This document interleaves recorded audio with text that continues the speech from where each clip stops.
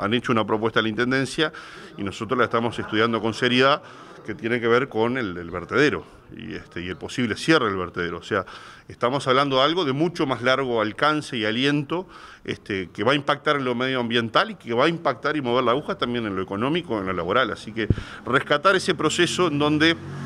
aquello que dijimos en la campaña, del concepto del Paysandú Forest porque están terminando de delinear justamente el ingeniero Van Hoff con su equipo, pero que ya lo pusimos en práctica de interceptar gente, lograr que gente se enamore, se entusiasme con Paysandú y logre erradicar su emprendimiento y su inversión en el departamento. Y bueno, es un proyecto que venimos trabajando ya nosotros, yo llegué personalmente en marzo del 2020, que fue cuando, bueno, la verdad que muy, muy amablemente eh, Nicolás nos, siendo diputado en ese momento, nos abrió las puertas, se sentó, nos escuchó y en base a eso empezamos a, trabajar, ahora que eh, sin nada en ese momento. Después empezamos a, moldear y a formar eh, todo lo que hoy, hoy ya fuimos logrando.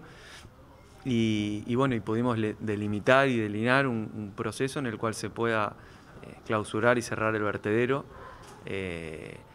disponiendo los residuos de una forma segura y amigable para el medio ambiente, donde haya cero contaminación, ya no se contamine más ni por líquidos lixiviados que van a las napas, al río Uruguay, todo el proceso,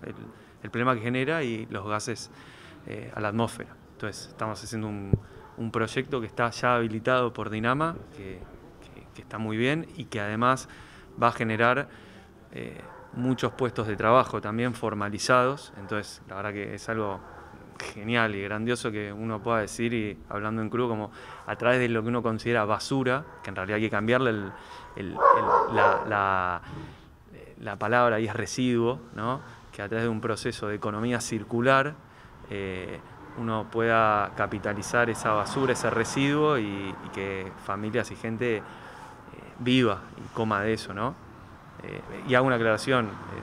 van a ser muchos puestos de trabajo formalizados, pero muchísimos más indirectos. ¿no?